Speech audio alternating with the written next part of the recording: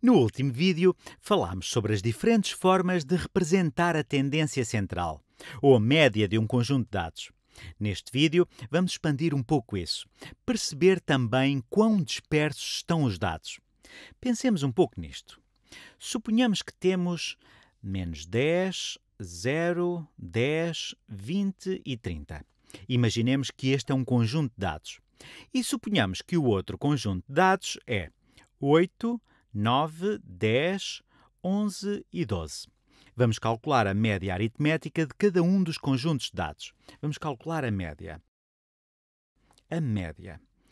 Quando avançarem mais em estatística, vão perceber a diferença entre população e amostra. Vamos assumir que esta é toda a população de dados. É toda a população. Vamos calcular a média da população. Vamos lidar com medidas de dispersão da população. Eu sei que são palavras esquisitas. No futuro, não terão todos os dados, mas sim algumas amostras e farão estimativas para toda a população. Não quero que se preocupem com isso para já, mas, para o caso de avançarem mais em estatística, quero deixar este esclarecimento. Bom, a média da população, a média aritmética deste conjunto de dados é menos 10, mais 0, mais 10, mais 20, mais 30 sobre temos 5 dados sobre 5. Quanto é que isto dá? Menos 10 e 10 cancelam-se, 20 mais 30 dá 50, a dividir por 5 é igual a 10. Agora vamos calcular a média deste conjunto de dados. 8 mais 9 mais 10 mais 11 mais 12. Tudo sobre 5. Podemos fazer isto assim. 8 mais 12 é 20, 9 mais 11 também é 20, portanto dá 40. E depois temos mais 10, portanto dá 50. Mais uma vez temos 50 sobre 5. Quer dizer que estas populações têm exatamente a mesma média. Se não quiserem pensar em termos como população e amostra, ambos os conjuntos de dados têm a mesma média aritmética. Se somarmos estes números e dividirmos por 5, dá 10. E se somarmos estes números e dividirmos por 5, também dá 10. Mas estes conjuntos de números são claramente diferentes. Se olhássemos apenas para este resultado, poderíamos ser levados a crer que os conjuntos eram muito próximos um do outro. Mas, ao olharmos para estes conjuntos de dados, uma coisa deve chamar-vos logo a atenção. Estes números estão todos muito perto de 10. Aqui, o número mais distante está apenas a duas unidades de 10. 12 é apenas mais 2 do que 10.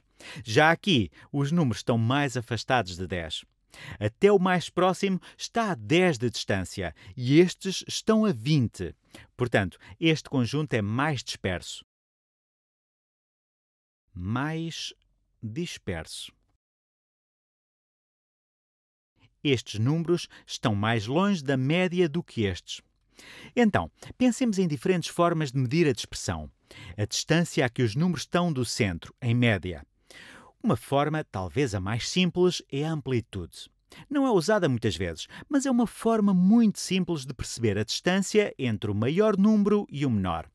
Pegamos no número maior, que neste exemplo é 30, e subtraímos-lhe o menor. 30 menos menos 10 é igual a 40. Isto diz-nos que a diferença entre o número maior e o número menor é 40, o que significa que este conjunto de dados tem uma amplitude de 40. Aqui, a amplitude é o número maior, 12, menos o número menor, que é 8. Isto é igual a 4. Neste caso, a amplitude é uma boa medida de expressão. Sabemos que ambos os conjuntos têm uma média de 10, mas ao olharmos para a amplitude, vemos que este conjunto tem uma amplitude muito maior, o que nos diz que é mais disperso. Mas a amplitude nem sempre nos dá a informação toda. Podemos ter dois conjuntos de dados com a mesma amplitude e, dependendo da forma como os números estão agrupados, podem ter distribuições muito diferentes. Uma medida que vamos ver muitas vezes é a variância. Neste vídeo, ainda vamos ver o desvio padrão, que é, talvez, a medida que se usa com mais frequência e que tem uma relação muito próxima com a variância. O símbolo de variância, estamos a falar de variância de uma população. Volto a frisar, estamos a assumir que temos todos os dados de toda a população e não apenas uma amostra, um subconjunto de dados. O símbolo de variância é este sigma a letra grega ao quadrado. É esse o símbolo de variância. E já vamos ver a seguir que o sigma é o símbolo do desvio padrão. E não é por acaso. Bom, mas a variância consiste em pegar em cada um dos dados, calcular a diferença entre esses dados e a média e levar ao quadrado e calcular a média aritmética desses quadrados. Parece muito complicado, mas quando fizermos os cálculos, verão que não é assim tão difícil. Não se esqueçam, a média aqui é 10. Pegamos no primeiro dado, vou fazer isso aqui. Deixem-me cá descer um pouco isto. Pegamos no primeiro dado, menos 10, e a esse subtraímos a média e levamos isso ao quadrado. Calculamos a diferença entre o primeiro dado e a média e levamos-la ao quadrado para que o resultado seja um número positivo. Mais o segundo dado, 0, menos 10, menos a média, isto é a média, este 10, ao quadrado. Mais 10 menos 10 ao quadrado. Este 10 aqui do meio. Mais 20 menos 10 ao quadrado. Mais 30 menos 10 ao quadrado. O que temos aqui são os quadrados das diferenças entre cada número e a média. Isto aqui é a média. Isto é a média. Vamos determinar a diferença entre cada um dos dados e a média e levá-las ao quadrado, somá-las e dividi-las pelo número de dados. Ou seja, vamos calcular a média destes números, destas distâncias elevadas ao quadrado quando expressamos verbalmente, parece muito complicado, mas basicamente pegamos em cada um dos dados, calculamos a diferença entre eles e a média e levamos ao quadrado e calculamos a média dos resultados obtidos. Portanto, 1, 2, 3, 4, 5. Dividimos por 5. Quanto é que isto dá? Quanto? Menos 10 menos 10 é menos 20, menos 20 ao quadrado é 400. 0 menos 10 é menos 10, menos 10 ao quadrado é 100, portanto, mais 100. 10 menos 10 ao quadrado é 0 ao quadrado, que é 0. 20 menos 10 é 10, que ao quadrado é 100. Mais 30 menos 10, que é 20 ao quadrado, é 400. Tudo isto sobre 5. O que temos aqui? 400 mais 100 é 500, mais 500 dá 1000. Isto é igual a 1000 sobre 5, que dá 200. Nesta situação, a variância é 200. E esta é a nossa medida de dispersão. Vamos comparar este resultado com este conjunto de dados.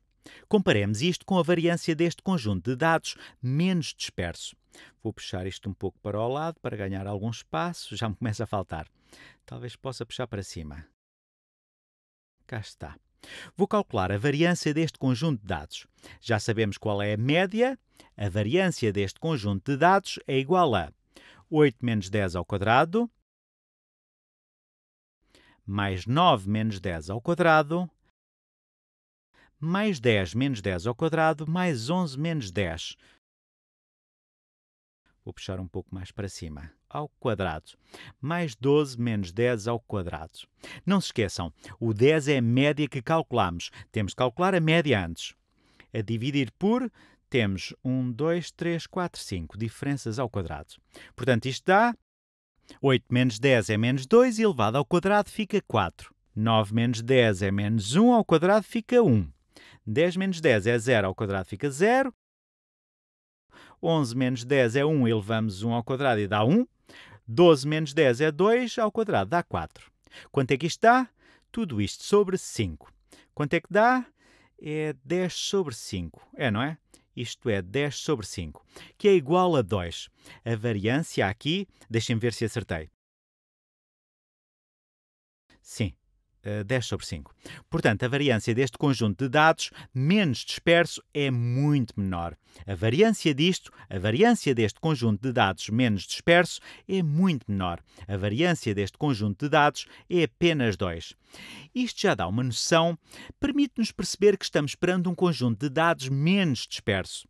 A variância só tem um problema. Calculamos a diferença entre os números e a média, e levamos ao quadrado e obtemos um número algo arbitrário. E se estivéssemos a lidar com unidades? Imaginemos que temos. Suponhamos que são distâncias. Isto é menos 10 metros, 0 metros, 10 metros, isto é 8 metros e por aí adiante. Quando elevamos ao quadrado, o resultado é em metros quadrados. As unidades da variância não são as mesmas dos dados iniciais. Por isso, o que se costuma fazer é usar o desvio padrão. Desvio padrão. Desvio padrão. Que, na verdade, é a raiz quadrada da variância. É a raiz quadrada da variância. É a raiz quadrada da variância. Ou a raiz quadrada do sigma ao quadrado e o símbolo do desvio padrão é sigma. Depois de termos calculado a variância, é muito fácil calcular o desvio padrão. O desvio padrão deste primeiro conjunto de dados vai ser a raiz quadrada de 200. Quanto é a raiz quadrada de 200? É a raiz quadrada de 2 vezes 100. É igual a 10 raiz quadrada de 2. Este é o desvio padrão do primeiro conjunto de dados. A variância do segundo conjunto de dados é raiz quadrada de 2.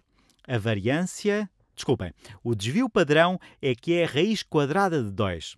É a raiz de 2. O desvio padrão do segundo conjunto de dados é um décimo do desvio padrão do primeiro. Este é 10 raiz quadrada de 2 e este é apenas raiz quadrada de 2. Então isto é 10 vezes o desvio padrão. 10 vezes o desvio padrão.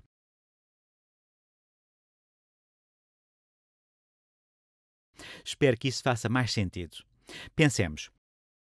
Isto tem um desvio padrão de 10 vezes superior ao disto. Vamos recordar como fizemos os cálculos. No caso da variância, calculamos a diferença entre os pontos e a média, elevamos ao quadrado e calculamos a média.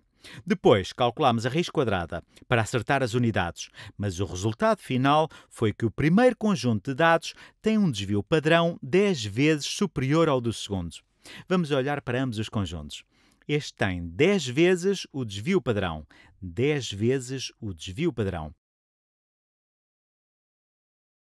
O que faz sentido, até intuitivamente. Ambos têm um 10 aqui, mas 9 está apenas a uma unidade de 10. 0 está a 10 unidades de 10, é 10 unidades menos. 8 está apenas a 2 e este está a 20. Portanto, em média, está a 10 unidades de distância. Por isso, o desvio padrão, pelo menos para mim, dá-me uma noção muito melhor da distância média a que um conjunto de dados está da sua média.